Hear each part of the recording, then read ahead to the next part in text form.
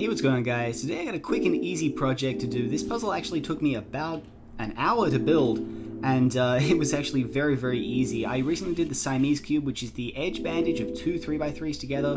This is called a fused cube, and this is just basically taking two cores of two 3x3s, fusing them together, and then you end up with two 3x3s that both have three functional faces.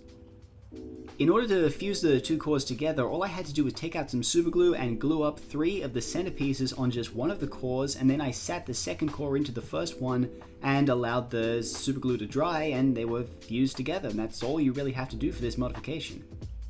It's important to know that you usually have to round or sand the edges of the centerpiece before you reassemble the puzzle. Uh, that's just because the centerpiece can constrict movement when you reassemble it, but uh, for the GE sale, the Florian pieces were so rounded that I didn't have to worry about this.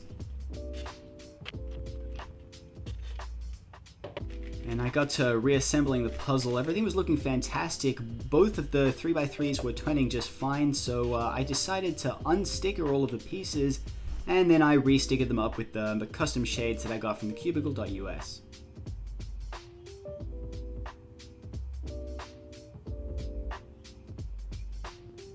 And there it is, the Fused Cube is complete. I love how this puzzle turned out, and I'm surprised that it took me only an hour to build this puzzle. The majority of that time was spent stickering it up because I'm a very slow stickerer.